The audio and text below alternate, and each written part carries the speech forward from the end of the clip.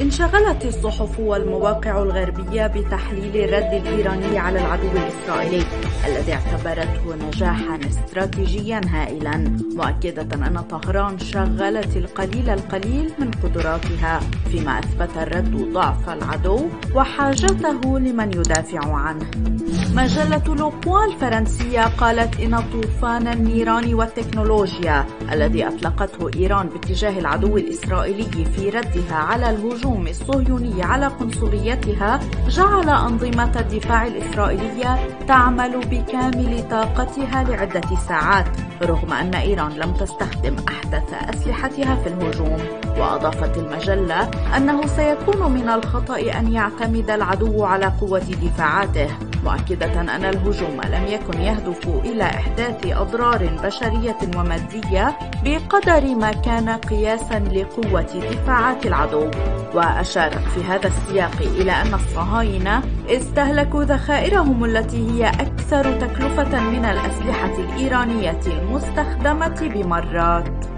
من جانبها قالت صحيفة لوموند الفرنسية إن العدو لا يزال غير مدرك لكيفية استعادة ما تسميه قدرته على الردع في ظل الحرب على غزة والتي لم يحقق أهدافها والرد الإيراني. هذا وأكدت صحيفة لوفيغارو الفرنسية أن ما تسميه صورة الكيان الذي لا يمكن المساس به صارت معلقة بخيط رفيع بعد الرد الإيراني. وأضافت الصحيفة أن الهجوم الإيراني شكل نجاحا استراتيجيا هائلا من جميع النواحي وأن تل أبيب لم تعد وحدها الخائفة بشدة من إيران بل أيضا الغربيون الذين فهموا الرسالة تماما. بدورها أشارت عدة تقارير غربية إلى أن الرد الإيراني كشف وهن العدو. موقع ميدل إيست آي البريطاني قال في هذا السياق إن تل أبيب تحتاج للآخرين للدفاع عنها وأضاف أن الهجمات الإيرانية كشفت ضعف الكيان الغاصب. إلى الدرجة التي بدا فيها غير قادر وحده على الدفاع عن نفسه. وأوضح الموقع أن تل أبيب اليوم لم تعد حرة في اختيار كيف ترد على الهجمات في ظل ورطتها في غزة وعدم تحقيقها أي إنجاز في مقابل مقاومة قوية وتزداد تصلبا.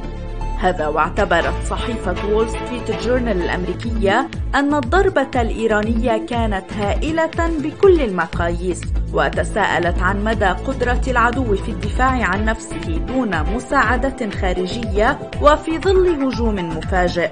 ولفتت إلى أن من أهم ما حصلت عليه طهران هي المعلومات الاستخباراتية القيمة من مراقبة كيفية عمل الدفاعات الجوية الأمريكية والإسرائيلية.